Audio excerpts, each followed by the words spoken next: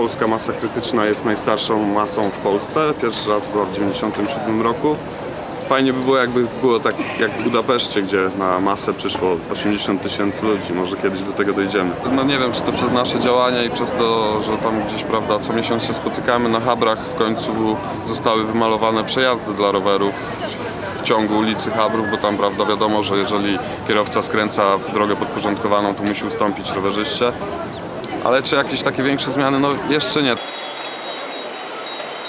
Chcielibyśmy się tu gdzieś zająć tym, jeżeli chodzi o infrastrukturę, żeby może nie tworzyć na razie nowej, tylko poprawić tą, co jest, żeby ona była jakoś spójna ze sobą, żeby nie kończyła się ścieżka na drodze. Jest w Opolu miejsce, gdzie ścieżka ma dosłownie 4 metry, kończy się na drodze, w ogóle jest dwa znaki, na początku i na końcu postawiony.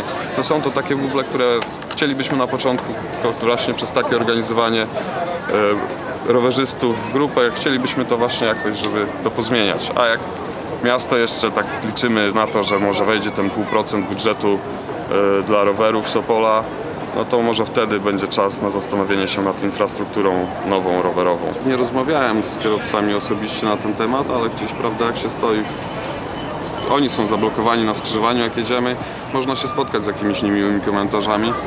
Ale jeżeli chodzi ogólnie o znajomość prawa przez rowerzystów, jak i kierowców, no, zostawia to dużo do życzenia. Z jednej i z drugiej strony przydałaby się jakaś edukacja, jeżeli chodzi o przepisy typowo rowerowe.